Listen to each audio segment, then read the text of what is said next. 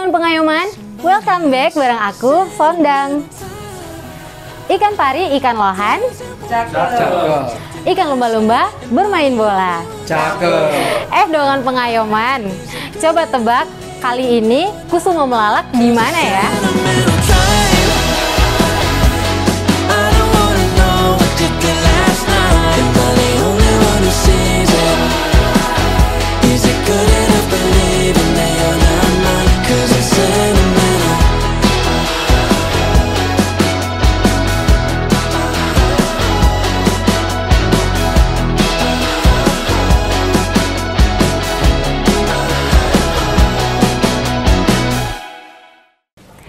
Yes, musim hujan dingin-dingin gini makin komplit karena aku mau bawa dongan pengayoman ke daerah dingin dan sekarang kita lagi ada di Sidikalang, ibu kotanya Kabupaten Dairi.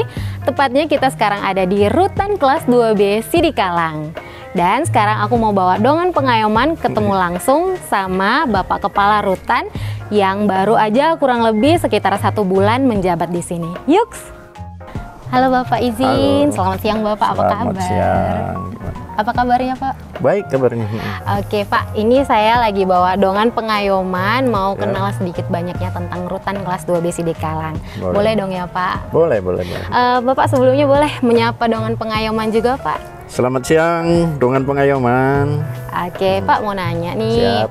eh, rutan kelas 2B Sidikalang ini warga binaannya ada berapa banyak Pak? Warga binaan kita ada 432 orang.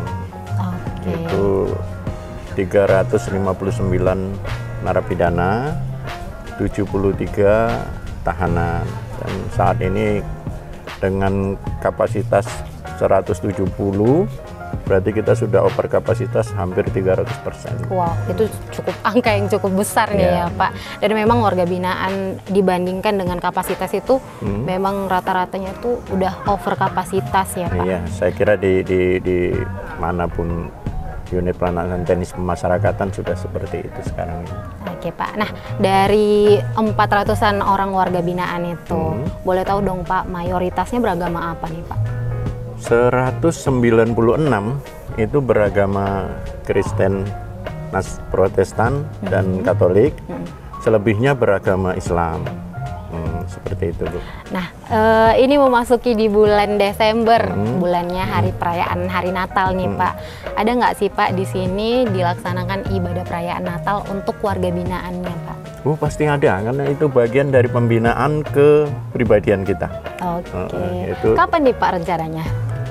Kalau mereka sebenarnya sudah eh, beberapa kali mengikuti kegiatan perayaan Natal eh, yang datang dari antusias eh, lembaga-lembaga, gereja-gereja di sekitar rutan kita.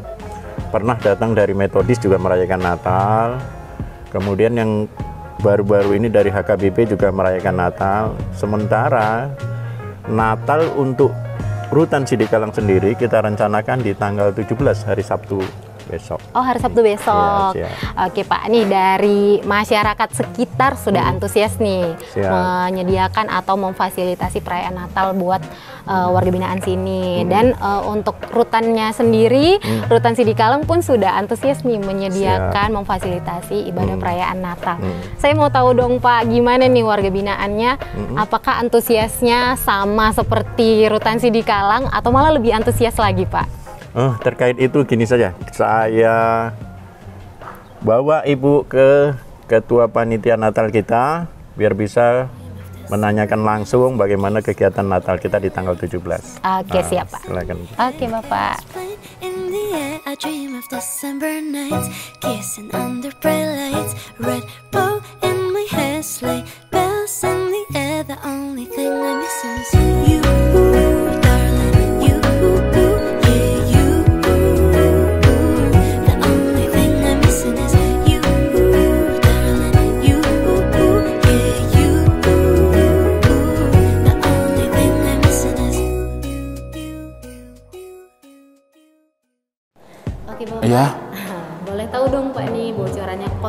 Natalnya kali ini apa nih Pak? Kalau konsep Natal untuk tahun ini pada dasarnya pelaksanaan Natal yang ada di Rutan Sidikalang ini, bagaimana pelaksanaan Natal yang ada di luar, di luar sana, di luar, di tengah-tengah masyarakat sana itu yang kita bawakan juga dalam pelaksanaan Natal yang ada di Rutan ini. Berarti ada liturginya juga ya. Ah, perlu saya jelaskan, semua seluruh kegiatan ini yang hampir 80% itu kita melibatkan daripada warga binaan kita karena kami menganggapnya ini salah satu bagian daripada program pembinaan yang ada di rutan ini. Nah, eh, kalau sama dengan konsep yang di luar berarti tidak lepas dari adanya liturgi. ya. Benar-benar. Boleh tahu Pak kegiatan apa lagi nih selain liturgi? Jadi kegiatan yang ada di sini nanti dalam pelaksanaan Natal ini ada liturgi, ada kor, ada peramen-peramen pendek, dan begitu juga pemain organnya juga nanti yang mengiringi musik dalam pelaksanaan Natal kita ini dari warga binaan. Oh, gitu ya. Iya, dari warga binaan. Oke, Pak. Nah, ini saya tadi agak eh, tercuri nih fokusnya ke belakang. Saya lihat ada yang pakai pakaian merah tadi ini lagi sibuk mendekor. Iya, Siapa nih Pak? Boleh tahu Pak? ah, yang mendekor ini warga binaan kita yang ada di Rutan Sidikalang ini. Dan. Iya, dari semuanya kita hanya memfasilitasi, memfasili- memfasilitasi alat-alat yang diperlukan. Oke. Ah.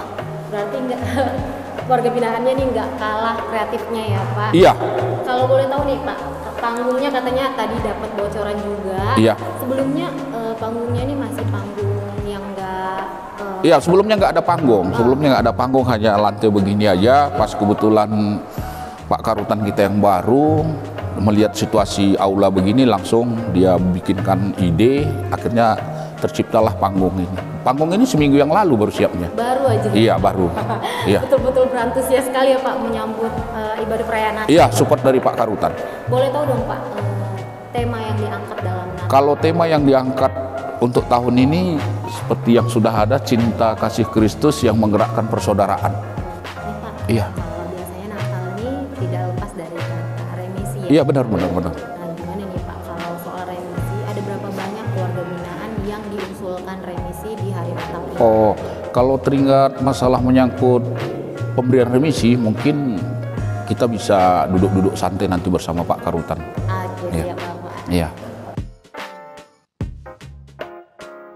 Oke Bapak, nih Pak terkait Natal, hari besar keagamaan nih biasanya kan nggak terlepas dari kata remisi. Betul. betul. Nah untuk remisi, untuk remisi Natal kali ini ada berapa banyak Pak keluarga binaan yang diusulkan dari Rutan Sidikalang?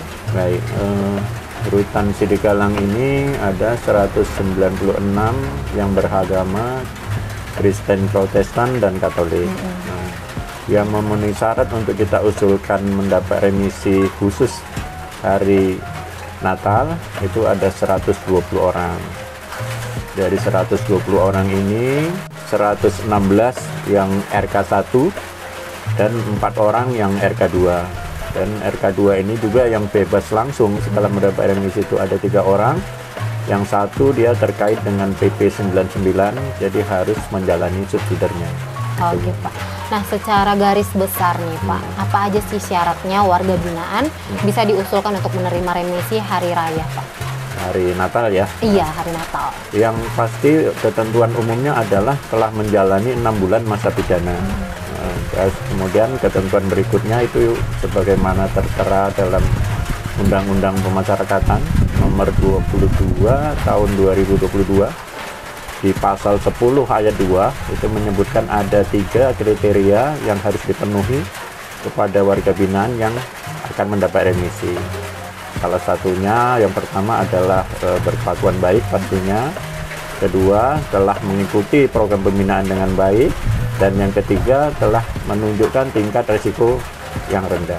Dan e, kalau di Sidikalang kita bisa kita pastikan bahwa semua kegiatan pengusulan remisi tidak dipungut biaya. Wah siap Pak.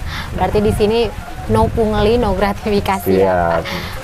Nah terima kasih banyak nih Pak ya sudah mengizinkan saya dan dongan pengayoman untuk bercerita sedikit banyaknya tentang rutan kelas 2B Sidikalang ini. Terima kasih. Tapi saya punya satu pantun Oke, untuk silakan, kehadiran Ibu bahwa Putri Minang main di Padang. Cakep. Iya.